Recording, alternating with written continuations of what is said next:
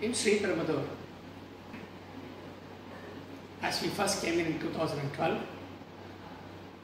this was a bad went ahead and decided to do two, three things. One was to equip this place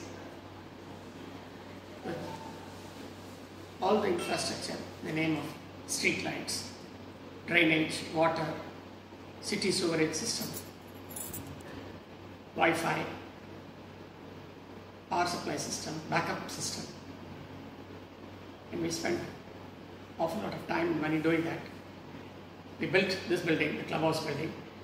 We built a restaurant, we built a kitchen, we built a gym, we built a convention hall, and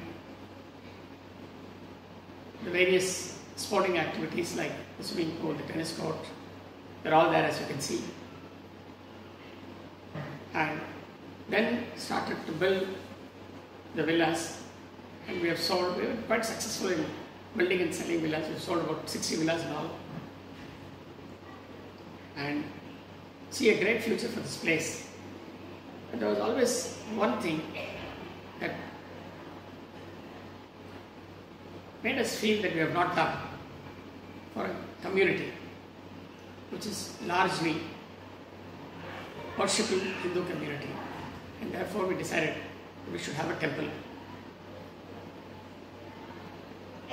We approached the learned people in the Hindu theology and they suggested that we build a Mahalakshmi temple here.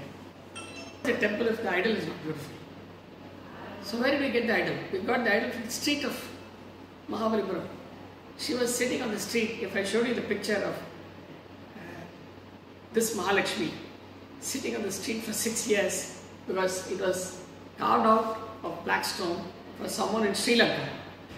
He never came to take delivery of the idol and did something that we saw so beautiful. And we said we will go for it because the, the idol's main feature is her Gambiram, which means her majesticity. She is a majestic idol. And don't forget, Mahalakshmi is none other than a Rani. So she is a queen. A queen will obviously be majestic, beautifully dressed. And the best part about this Mahalakshmi is that when, she, when you see her from the road, she is like a queen. But when you go close to her, she is like a mother.